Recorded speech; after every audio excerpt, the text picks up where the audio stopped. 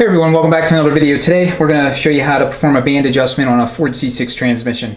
So we're going back together with this unit. Uh, this is the same transmission that was uh, featured in my uh, teardown inspection video, the full length version, not the short version.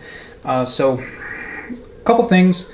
One, uh, the procedure is very straightforward and it's the same for any and all C6 variants. So you tighten the adjustment screw down to 120 inch pounds or 10 foot pounds and you back it off one and a half turns and then from there you assess, uh, you know, take a you know, physical inspection of band clearance, and then you turn the uh, output shaft in the opposite direction engine rotation while you observe the direct drum rotating or spinning underneath the band.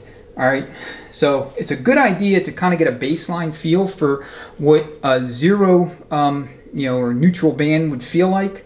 So best way to do that is just to spin everything, the whole guts, just rotate everything counterclockwise. All right, that'll give you a, a good sense of what just absolutely no band, um, you know, as if the band wasn't even in the case, what that would feel like. And then you can kind of compare and contrast that once you have your uh, one and a half turns and the adjustment screw is more or less set. All right, so the tools you'll need for this job are as follows. You're going to need a torque wrench capable of at least 40 foot-pounds of torque and one capable of producing 10 foot-pounds of torque. So unfortunately I don't have one wrench that does both so I got two different torque wrenches. Um, you're also going to want a uh, just regular 3 8 of an inch ratchet. Uh, that'll allow you to back the adjustment screw off. You're going to need a 13 16 socket for the lock nut and it's also a good idea to have a 13 16 wrench handy so that if you're having problems trying to torque the nut um, while keeping the adjustment screw from rotating on you, you can just use the wrench to tighten it up. And then, you know, when you're ready, you can go to final torque. Uh, you're also going to want to have a 5 16 inverted Torx socket. So this one's just a Craftsman. All right, this is what you're going to use to actually engage the adjustment screw here on the uh, squared off end.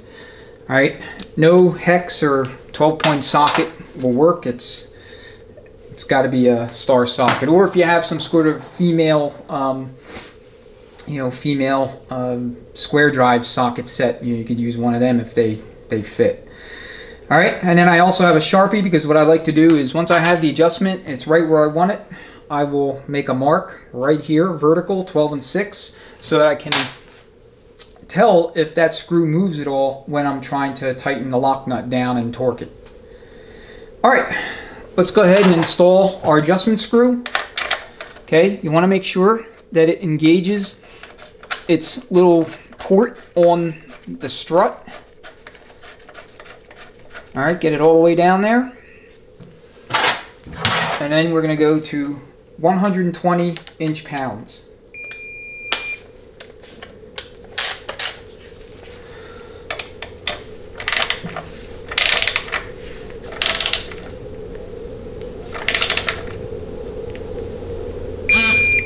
All right, we're at 120. Now we're going to back it off one and a half turns. All right, now the factory service manual and the ATSG manual both prescribe this exact procedure. However, if you've uh, acquired any of Transgo's shift kits for this transmission, I think that there's some instructions and and I don't know if it's the basic kit, but it might be the uh, you know the one of the more advanced ones. Um, what they have you do is back it off, starting at one and a half inch turns, or excuse me, one and a half turns, and then assess and move it either inward or outward in quarter turn increments until it's just right.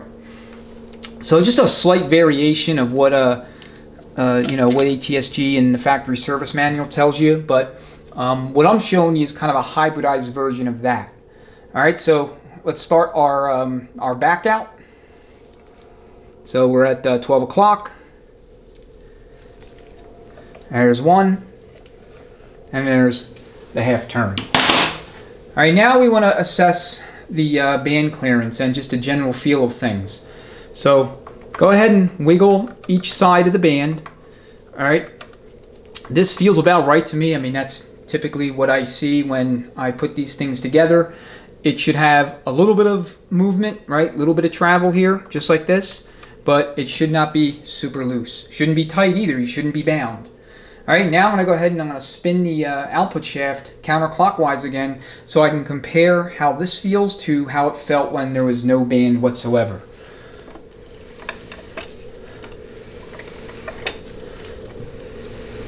Okay, this feels a little bit draggy to me. So what I'm going to do is I'm going to back it off about an eighth of a turn and reassess.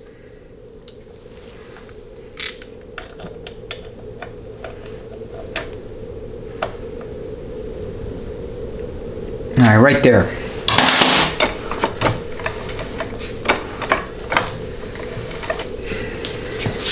Okay, it feels a little bit, you know, a little bit looser, but I don't want to go any further than that because I know once the transmission's in the vehicle and starts working, then, you know, this is going to loosen up a little bit anyway, just like everything else in the transmission. It's going to loosen up. You're going to get a little bit of additional clearance in all your clutch packs, assuming you soak your frictions before you do your, uh, you know, your clutch clearance um, checks.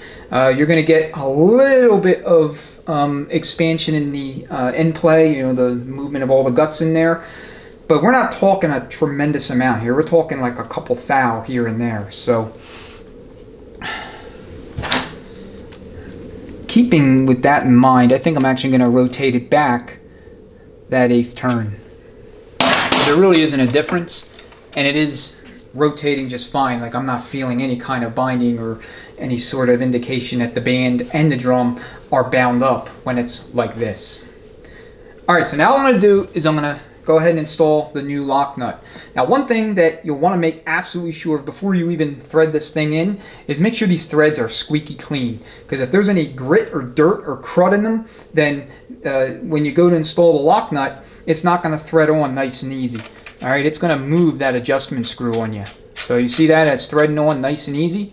Alright, that's how it has to be. Alright, so go ahead and stop once you've gotten to the point where it's just beginning to make contact with the case where that you can kind of feel the seal wanting to push back on you a little bit. And then what I do is I'll grab my 13 16 wrench and my uh, socket here and I'm going to start basically turning the lock nut inward with the wrench while I hold the adjustment screw in place.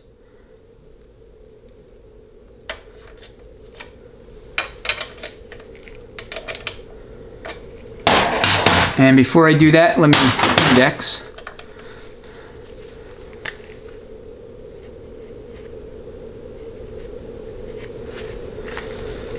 All right, the line doesn't have to be, you know, perfect or anything like that.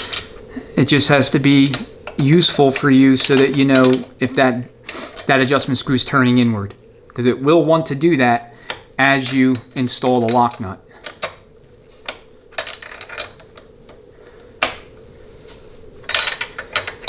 And as you're turning it, the seal will want to push it back out. All right, so now we're tight cinched against the case. So at this point, it's ready for torque. And once it's torqued, I mean, it's done. If for whatever reason you have to take this off again, I'd recommend you install a new lock nut because more than likely the seal's been compromised. So do one last check, okay? One last check on your um, your clearance for your band, and then go ahead and spin the output shaft one last time.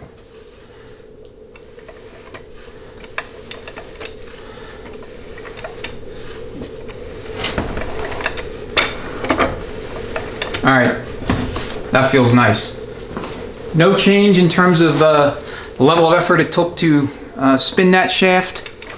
I mean, you can check the input shaft too if you want. It's not really going to make a difference. It's not gonna really get to tell you anything.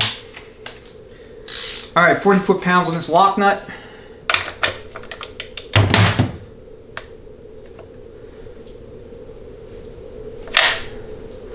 All right, no movement in the adjustment screw.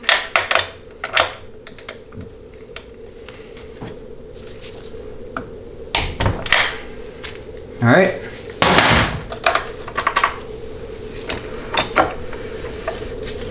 Okay, band is adjusted, everything is good.